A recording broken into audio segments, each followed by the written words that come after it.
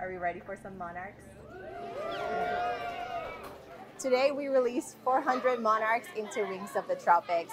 They have now joined the around 2,000 tropical butterflies that we have flying around year round.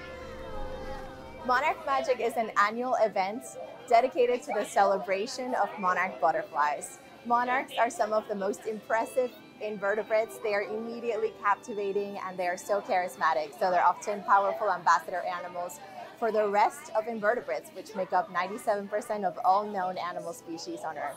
I think they're fascinated, and I think they're delighting in seeing these creatures up close and personal, and I think it just has really increased their sense of wonder that they already had about butterflies, but now that they're up close, I think they're just delighted.